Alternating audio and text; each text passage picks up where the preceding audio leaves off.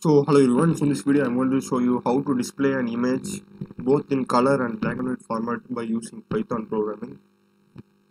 So let's get started. So first we need to install NumPy and uh, OpenCV. I have done it in the previous video, you can check it out there.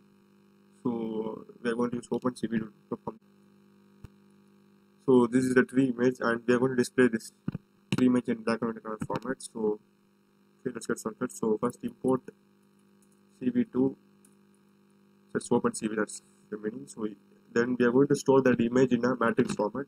So img equal to im read sorry cv2 dot im read and the name of the image 3 dot jpg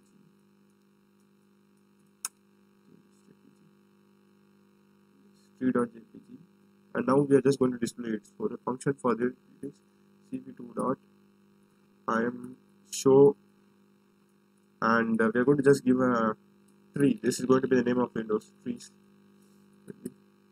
And come on we are going to pass another argument that is going to be the matrix format of that image. And run and, and the most important thing is the image and the program should be in the same file otherwise your program will throw that. so here you can see so this is the image that we have got over here can't expand it.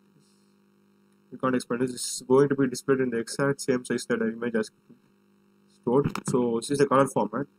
Now I will show you how to display the image in the black and white form. So it is basically comma 0 so 0 stands for black and white and 1 stands for color. So 0 and save it so you can see it's in the black and white form.